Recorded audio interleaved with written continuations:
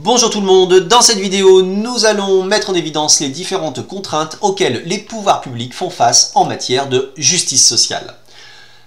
Pour commencer, deux petites citations intéressantes. La première du président américain Ronald Reagan, qui soulignait que l'État n'est pas la solution à nos problèmes. L'État est le problème.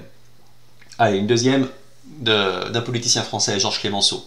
Georges Clémenceau soulignait que, je cite, La France est un pays extrêmement fertile on y plante des fonctionnaires et il y pousse des impôts. Ces deux situations ont simplement pour objectif de vous montrer effectivement que l'action publique porte en soi les germes de nombreux problèmes. Premièrement, des contraintes de financement.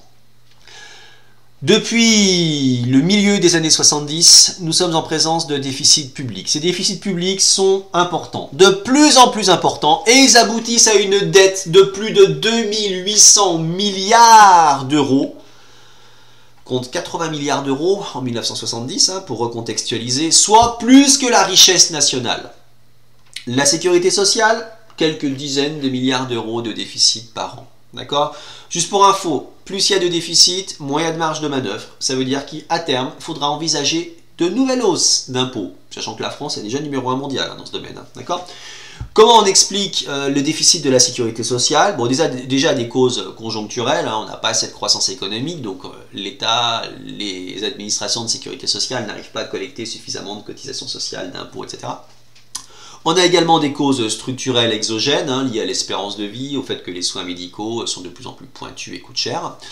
Et également des causes structurelles endogènes, à savoir, bah, on a des cotisations sociales élevées, donc un coût du travail élevé, donc les entreprises ne créent pas suffisamment d'emplois, donc à la fin, bah, il n'y a pas assez de cotisations sociales qui sont perçues tout simplement. Hein. Donc cette dette, euh, elle est essentiellement liée à une croissance économique trop faible et aussi, on va pas se mentir, hein, des politiciens qui franchement ont pris de mauvaises habitudes en matière de dépenses publiques d'accord Et qui, euh, décennie après décennie, ne font pas nécessairement ce qu'il faut, notamment dans un objectif électoraliste. Deuxièmement, un problème d'efficacité. Bon, bah, quelques chiffres, hein, c'est pas bien compliqué. Hein. En France, alors en fonction des années des statistiques, on a 2,5, 3 millions de chômeurs, 2 millions de personnes qui reçoivent le RSA, on doit être environ 8 euh, millions, grosso modo, de, de pauvres, hein, d'accord Environ 14-15% de la population. Bon, bah, comparé à l'Allemagne, Royaume-Uni, Japon, éventuellement États-Unis, vous voyez que en clair, on est nul. D'accord?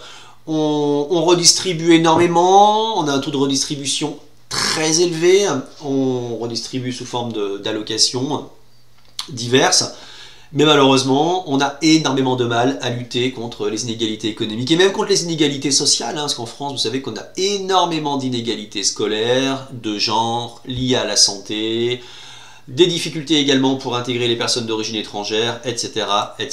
Troisièmement, l'action publique pose également problème en matière de légitimité. Hein. Il y a de plus en plus de personnes qui voient leur consentement à l'impôt diminuer. Je traduis, de plus en plus de citoyens en ont marre. Ils, ils voient de moins en moins l'intérêt de payer des impôts. En fait, ils ont l'impression de ne faire que ça et de ne rien avoir en contrepartie. Hein. Pour eux, la protection sociale est injuste. je me situe notamment au niveau des classes moyennes. Parce que quand vous vous placez au niveau des classes moyennes, vous regardez au-dessus de vous. Au-dessus de vous, vous avez les riches, enfin, entre guillemets. Donc vous vous dites que eux, bah, ils ont suffisamment d'argent, donc il n'y a pas de souci. En dessous, il y a les pauvres. les pauvres reçoivent plein d'aide. Donc finalement, les classes moyennes ne sont pas assez riches, évidemment, pour être tranquilles, mais sont pas assez pauvres pour recevoir suffisamment d'aide. Donc elles ont l'impression d'être un petit peu le dindon de la farce. D'autant plus qu'on a également des courants de pensée libéraux, je pense au courant libertarien de Nozick, hein, qu'on a vu dans une précédente vidéo. On a également la courbe d'Arthur Laffer, en vertu de laquelle trop d'impôts tue l'impôt. Autrement dit, plus on va augmenter la pression fiscale, le taux d'imposition, et plus les agents économiques vont mettre en place des stratégies de dissimulation, d'évitement, de contournement, tout simplement parce qu'ils n'ont pas envie de payer plus d'impôts.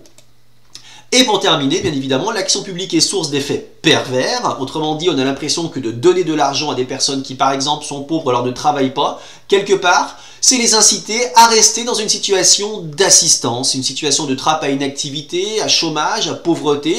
Ils resteront pauvres, ils n'auront pas envie de chercher un job, ils préféreront effectivement se complaire en quelque sorte dans cette situation-là. D'autant plus que l'argent public n'est pas toujours bien utilisé, hein il y a du gaspillage, je ne parle même pas de la fraude sociale, ça c'est encore un autre problème.